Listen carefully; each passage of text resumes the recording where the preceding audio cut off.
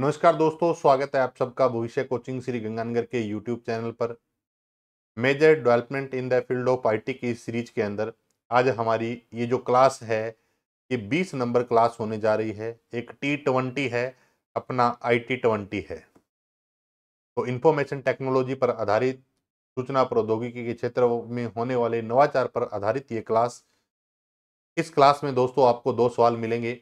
एक रहेगा राजस्थान से संबंधित और एक रहेगा देश दुनिया से संबंधित। बहुत अच्छे सवाल है, अच्छे तरीके से नोट्स बनाइएगा, पढ़ते रहिएगा।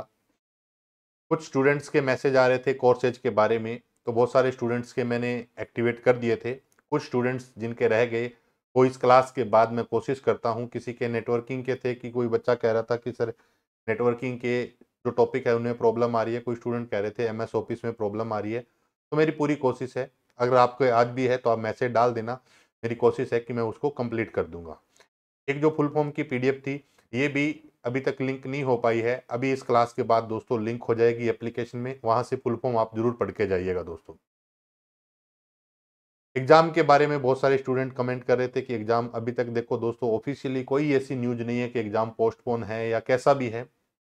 जिस दिन न्यूज़ होगी, वो आप सबको पहले ही पता चल जाएगी। जैसे ही कोई जानकारी आएगी तो एक मिनट बाद भी पूरे राजस्थान में ये सूचना आपको मिल जाएगी कि सूचना सह का एग्ज़ाम क्या है, किस तरीके से है। नौ सितंबर के हिसाब से तैयारी कर लो। नौ सितंबर के हिसाब से ही अपना एग्ज़ाम होगा दोस्तों, और तैयारी भी हमें उसी हिसाब से करनी चाहिए। इस महीने में रक्षाबंधन का त्यौहार भी आ रहा है दोस्तों। इस वजह से हो सकता है आपका कोई एक दिन भी टाइम भी आगे पीछे हो तो उसको भी मैनेज करके चलना अच्छे तरीके से, ताकि आपका समय जो है वो बहुत इंपॉर्टेंट है दोस्तों। एक ये था दोस्तों कि मैराथन क्लास के बारे में मैंने आपसे सवाल पूछा था। बहुत सारे स्टूडेंट्स के कमेंट आए कि, सर, मैराथन क्लास लगानी चाहिए। बहुत सारे स्टूडेंट्स के आए कि, टॉपिक वाइज लेके आओ। दोस्तों, मैंने जो तय किया है, वो आपको बता देता हूँ। मैराथन क्लास का जो थंबनेल है, लिंक है, वो कल लग जाएगा क्लास। आप जाकर उस क्लास में लाइक करना दोस्तों सभी। ये जो क्लास है दोस्तों, मैं टॉपिक वाइज मैंने क्लासेज लगाई हुई है यूट्यूब पे, जिनको टॉपिक वाइज पढ़ना है, वो यूट्यूब पे पुरानी क्लासेज देख सकते हैं। सूचना सहायक के लिए मैंने अभी पीछे कोई पंद्रह दिन पहले, बीस दिन पहले, महीने भर पहले की क्लासेज है, आप वहाँ से देख सकते हैं। अब जो मैराथन होगी दोस्तों, वो होगी कंप्लीट सिलेबस पर आधारित मैराथन लेके आऊँगा। जितनी आपकी यूनिट है सूचना सहायक में कंप्यूटर इसमें कंप्यूटर के टॉपिक की, उस पूरी की पूरी यूनिट पे अपने ये मैराथन क्लास होगी दोस्तों। तो मैराथन ज़रूर होगी। आप सबकी बात है, उसको मैंने कमेंट है। उनको ध्यान में लिया और आपके लिए ये तय किया है कि मैराथन क्लास में ज़रूर लेके आऊँगा।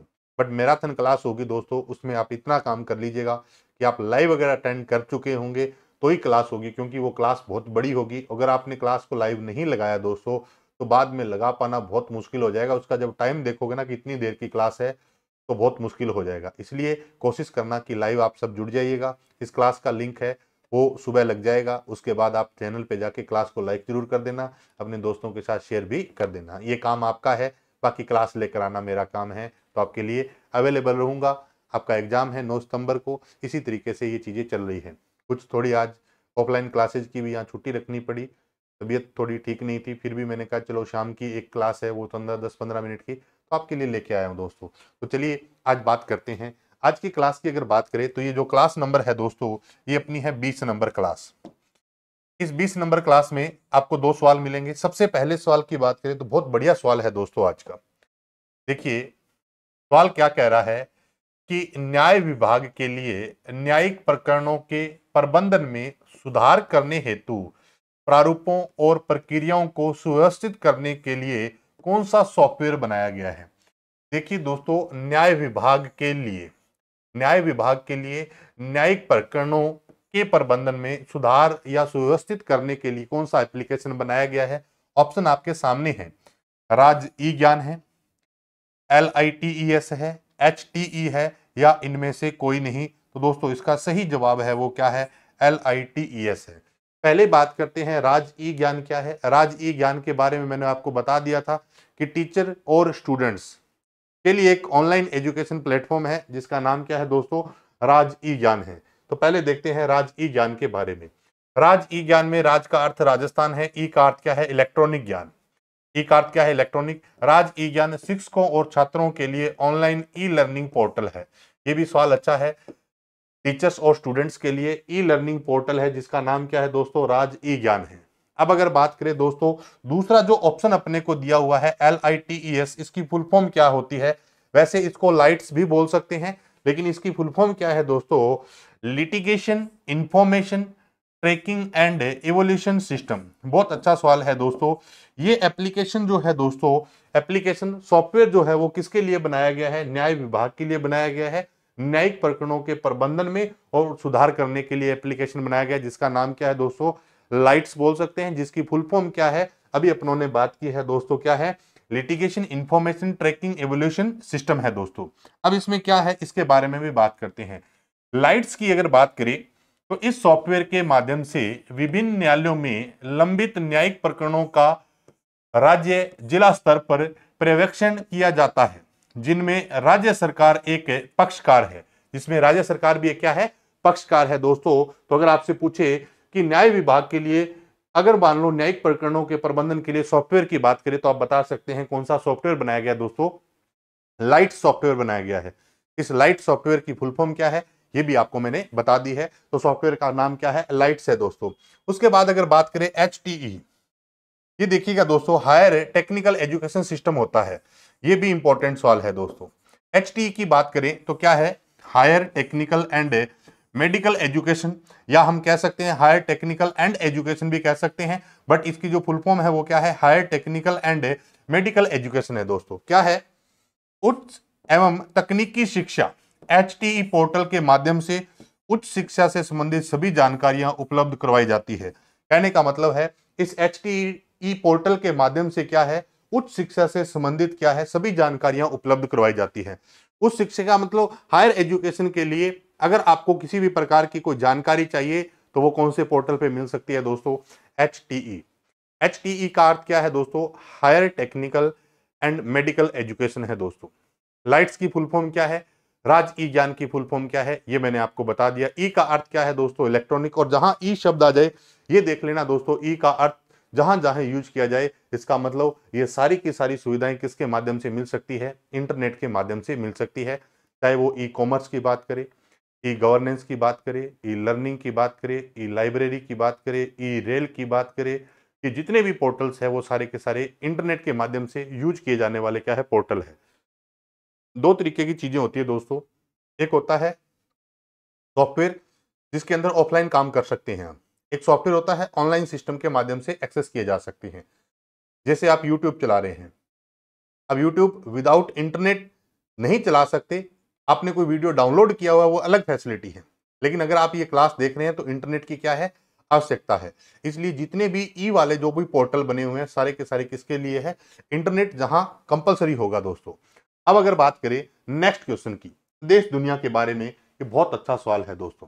सबसे पहले देखिएगा कि विंडो 11 विंडो 11 की अगर बात करें तो विंडो 11 कब रिलीज़ हुई? 5 अक्टूबर है। दो हज़ार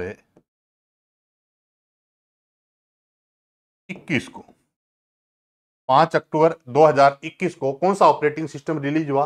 विंडो 11 विंडो की अगर बात करें तो विंडो ऑपरेटिंग सिस्टम कौन सी कंपनी का है? तो आप सब जानते हैं माइक्रोसॉफ्ट कंपनी का है।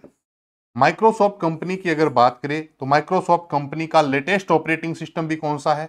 विंडो 11 माइक्रोसॉफ्ट कंपनी का एक ऑपरेटिंग सिस्टम आया था, दोस्तों विंडो 8 एकमात्र ऐसा ऑपरेटिंग सिस्टम था जिसमें स्टार्ट बटन नहीं था। तो स्टार्ट बटन के स्थान पर इसमें किसका यूज़ किया जाता था? लाइव टाइल्स का यूज़ किया जाता था।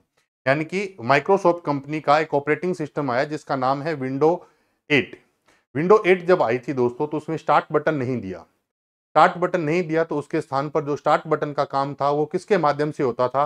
लाइव टाइल के माध्यम से। ये लाइव टाइल क्या होता है? जैसे एंड्रॉइड फ़ोन के अंदर स्टार्ट बटन नहीं होता, वहाँ भी तो अपने सारा काम करते हैं। वैसे ही विंडो एट की स्ट्रक्चर थी दोस्तों। अब इसने पूछा क्या है?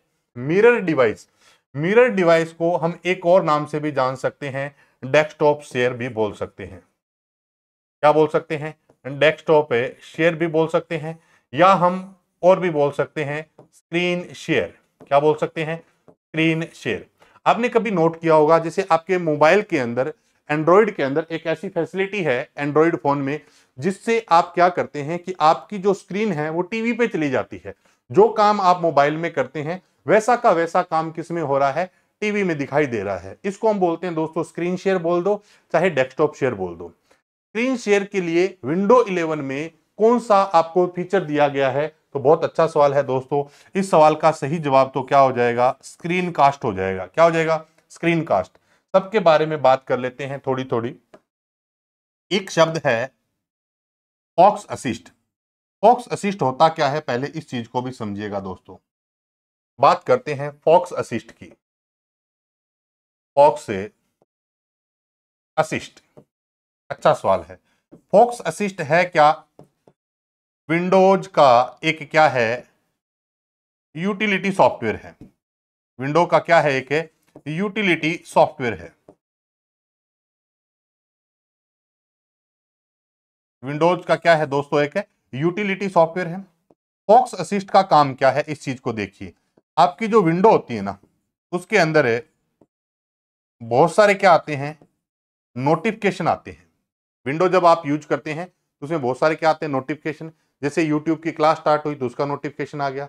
व्हाट्सएप का कोई नोटिफिकेशन आ गया, कोई इंस्टाग्राम का आ गया, कोई फेसबुक का आ गया, कोई ट्विटर का आ गया, कोई हाइक का आ गया। जितने भी आप एप्लीकेशन यूज़ करते हैं, उन सबका क्या आते हैं नोटिफिकेशन ये एंड्रॉइड की बात हो रही है। अगर आप कंप्यूटर ऑन करते हैं और कंप्यूटर की अगर बात करें तो उसमें भी बहुत सारे क्या आते हैं दोस्तों? नोटिफिकेशन आते हैं। कैसे नोटिफिकेशन हो सकते हैं? जैसे आपने पेन ड्राइव लगाई होगी और बाहर निकाला होगा। या आपने क्या किया होगा कि कोई भी ड्राइव है या फ़ाइल को डिलीट किया होगा। या आपने क्या किया होगा? वॉल्यूम को कम किया होगा या ज़्यादा किया होगा? या आपके कंप्यूटर में कोई वायरस आ गया होगा? या आपके कंप्यूटर की मेमोरी फुल हो गई होगी? इससे संबंधित उसके बार बार क्या आते रहते हैं? नोटिफिकेशन आते रहते हैं। जैसे कई बार आपने देखा होगा कि कंप्यूटर आपका रिस्क में चल रहा है, अभी तक उसमें एंटीवायरस नहीं है। ये सारे नोटिफिकेशन और इतने सारे नोटिफिकेशन हो जाते हैं कि अगर कंप्यूटर के साथ आपने स्पीकर लगा रखा है तो उन नोटिफिकेशन की आवाज़ बार बार आपके कानों में गूंजती है।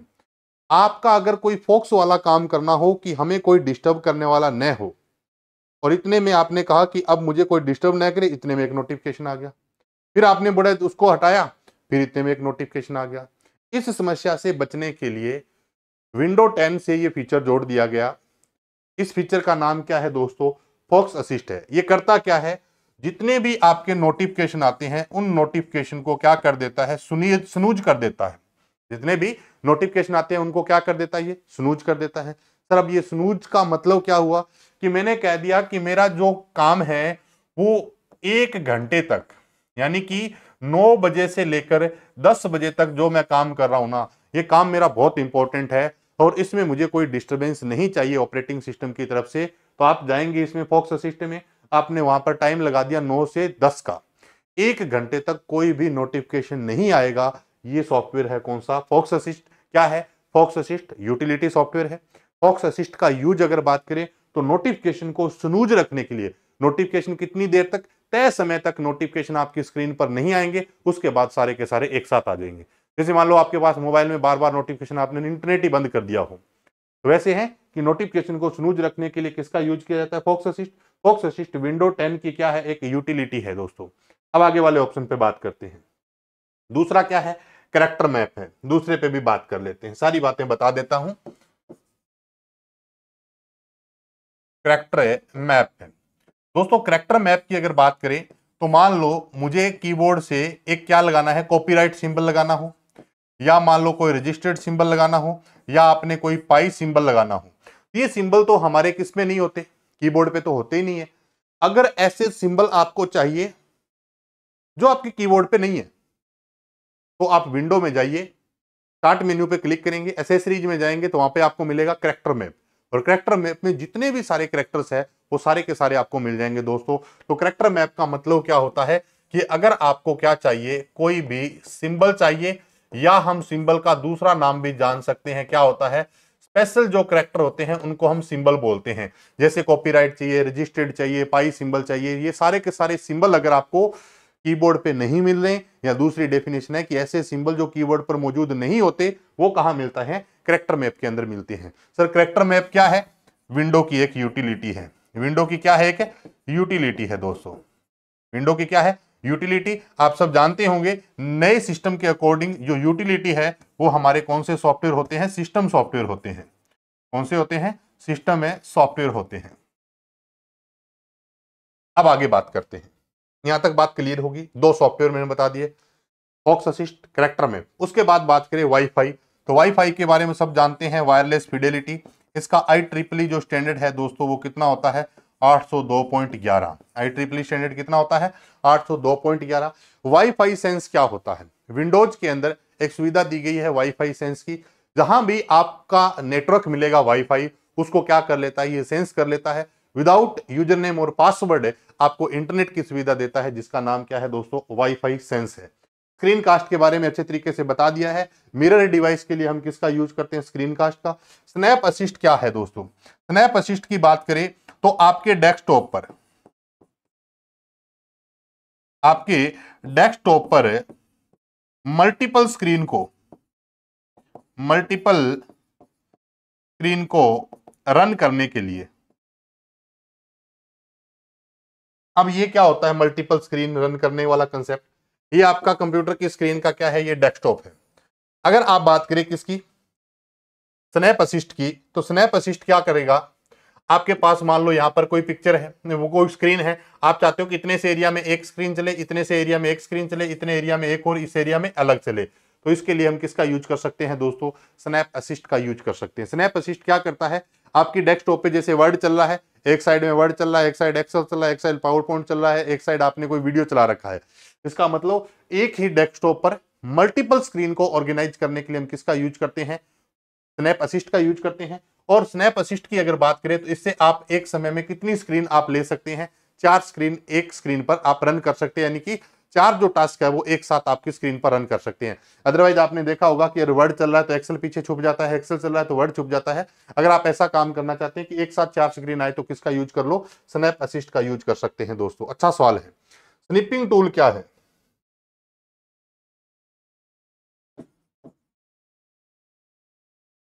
स्निपिंग टूल्स दोस्तों स्निपिंग टूल क्या है? सिलेक्टेड एरिया का। सिलेक्टेड एरिया का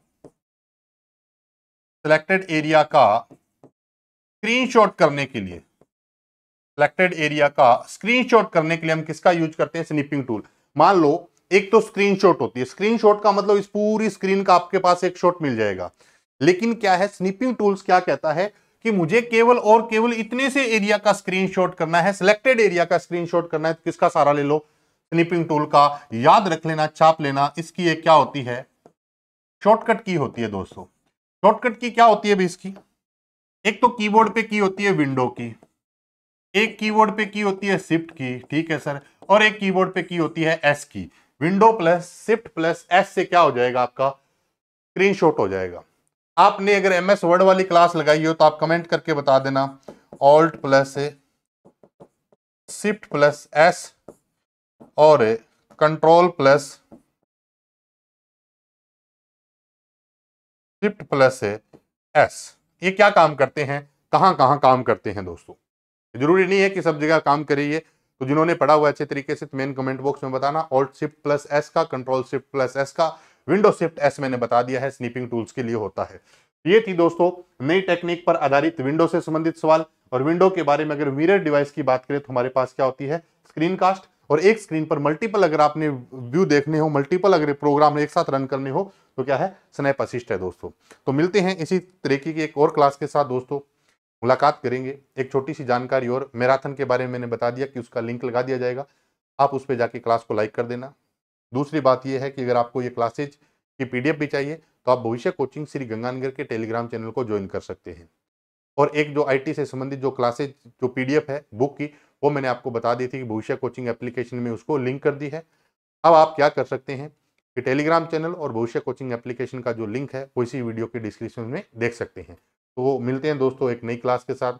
आज थोड़ा सा तबीयत गड़बड़ है, इस वजह से आपको क्लास कैसे लगी होगी, लेकिन मेरा था कि फ्लो नहीं टूटना चाहिए, रेगुलर होना चाहिए आपके लिए तो मैं आपके लिए क्लास ज़रूर लेकर आया हूँ दोस्तों। तो मिलते हैं एक नई क्लास के साथ, तब तक के लिए दोस्तों नमस्कार, जय हिंद।